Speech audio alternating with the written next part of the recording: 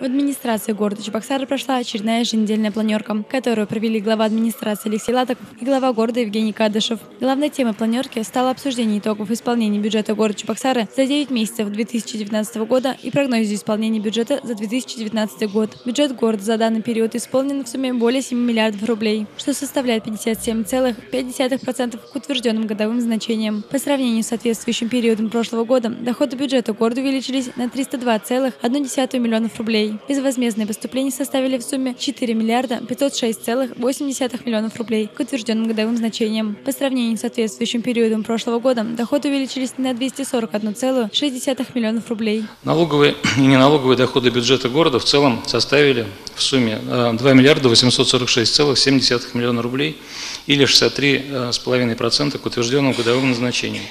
4 миллиарда 486,4 миллиона рублей. По сравнению с соответствующим периодом прошлого года доходы увеличились на 2,2% или на 60,5 миллионов рублей. Налоговые доходы составили в сумме 1 миллиард 984,8 миллионов рублей к утвержденным годовым значениям. По сравнению с соответствующим периодом прошлого года доходы увеличились на 120,6 миллионов рублей. Поступление налога на доходы физических лиц составило в сумме 1 миллиард 303,2 миллиона рублей рублей с ростом к уровню соответствующего периода прошлого года на 4,2%. Земельный налог поступил в сумме 241,5 миллиона рублей с ростом к уровню прошлого года на 31,8% или на 58,2 миллиона рублей. Анна Гаврилова, Степан Гурьянов, «Жизнь столицы».